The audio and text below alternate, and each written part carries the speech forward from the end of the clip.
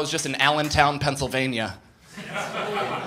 The person that said yeah has never been there ever. Have you been there? What a dog shit town that is. Holy fuck. I know Billy Joel has a song about it, but I have a few choice words of my own about that place. I'm pretty sure their town motto is drinking while pregnant. I think that's.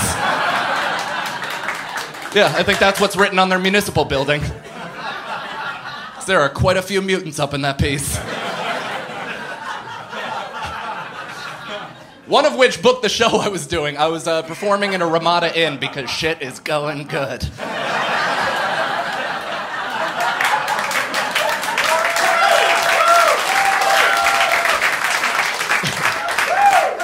And the woman that booked me was like instantly evil, instantly nasty. She sounded like she ate a carton of Kool cigarettes. and she was about 5'3 by 5'3. Just a perfect circle of a person. She had the most inexplicable teeth I've ever seen in my entire life. Have you run into this in 2017? Where you're like, oh, you haven't taken advantage of any of the advancements in dentistry over the last 100 years because it is fucking mayhem in your mouth. Seriously, how is it post 2K and you look like Captain Jack Sparrow? It is bananas.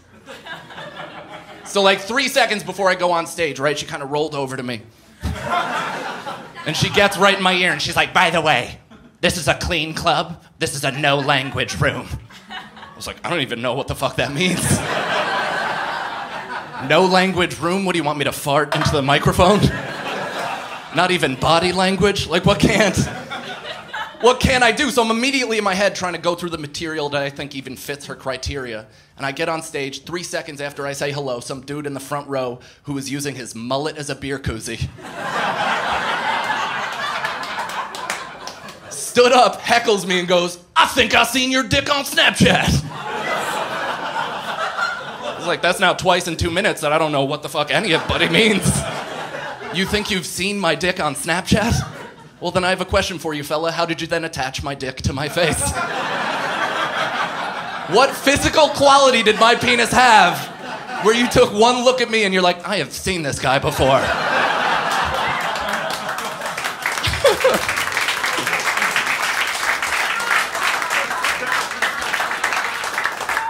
I don't know, man. My, my dick might be on Snapchat. I have no idea.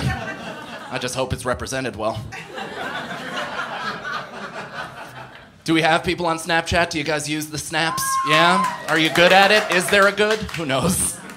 I use it when I'm only on the toilet, so I call it my Snapshits. But if you're unfamiliar with what it is, which I assume you all know, but if you're unfamiliar, it's a application on your smart device where people can take a photo or a video of themselves wearing a dog's face and become substantially more attractive somehow. right? Who knew that a dog was that close to me wanting to have sex with it? I had no idea. That a canine was but a shaved face and a good jawline away from me wanting to take one down. I got, uh, I got food poisoning leaving Allentown because it's like the devil wanted to keep me there.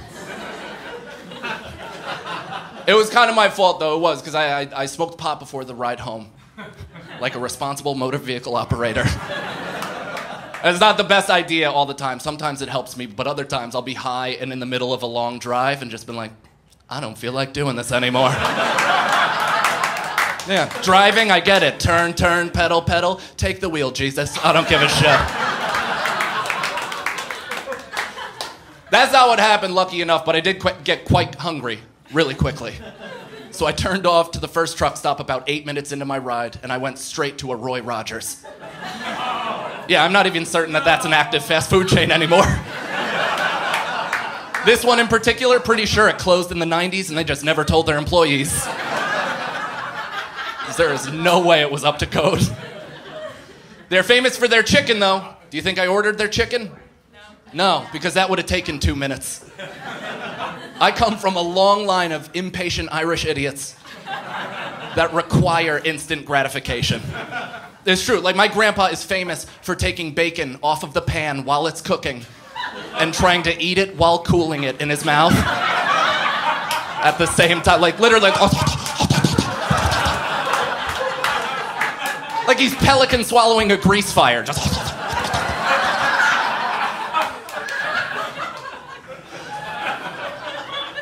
I run in there, it's 11 a.m. I run directly to the heat lamp and I grab a double bacon cheeseburger right from under that thing and I eat it in three seconds while tweeting about how it was the greatest decision of my life. I had to amend that tweet three hours later. Be like, just a heads up, everybody, I am now pissing out of my asshole. I would have been better off eating the grass on the side of the road. But good news now, I get to catch up on all my snap shits. Yeah, rub one out to a lamb.